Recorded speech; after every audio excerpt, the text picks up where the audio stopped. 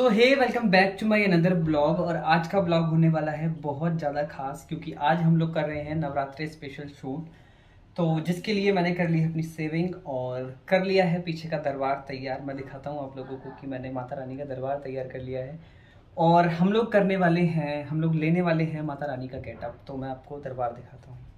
तो ये करा है मैंने तैयार माता रानी का दरबार जिसमें हम लोग करने वाले हैं आज शूट और क्योंकि हम लोग माता रानी का गेटअप लेने वाले हैं, इसीलिए नवरात्रा स्पेशल करने वाले हैं। तो करेंगे थोड़ी देर में शूट, अभी चलते हैं मेकअप करते हैं और होते हैं रेडी स्टे ट्यून मिलते हैं थोड़ी देर में।